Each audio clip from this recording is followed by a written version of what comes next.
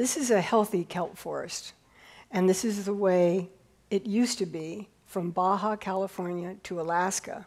Rich, diverse ecosystem, creating the habitat for millions of organisms and nurturing mammals along the way. Now, what creates this healthy ecosystem is the sea star. There are eight different species of sea stars, all up along the coast, or they should be. And they got hit very hard by an unknown invasive pathogen, and it's called sea star wasting disease. And it absolutely disintegrates these sea stars. Now, the billions of sea stars used to be here until 2013.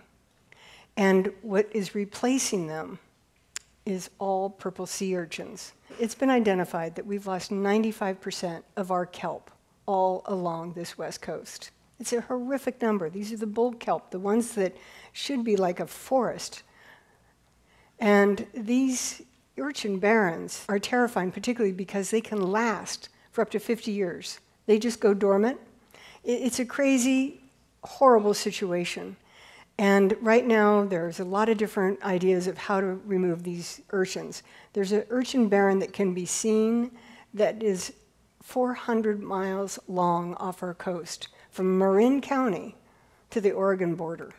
There's lots of technology, but there's one technology when it was proposed to us for research that we thought biotech might have a solution.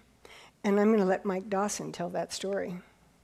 The question for us was is there a way to reintroduce the sunflower sea star to California, Oregon, and Washington, and to help those populations that are reintroduced be more resilient to future change, right? Whether that's changes in ocean temperature, ocean acidification, or other outbreaks of wasting disease.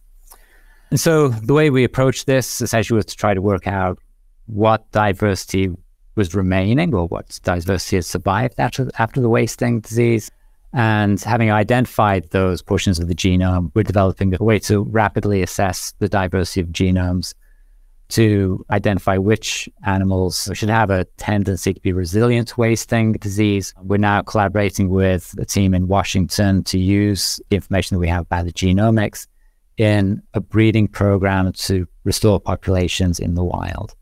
With the Nature Conservancy, we're now actually collaborating to try to do that part of it the next part of that project will be to take the tools that we're developing with Revive and Restore into that actually more, you know, real applied setting that has been the long-term goal.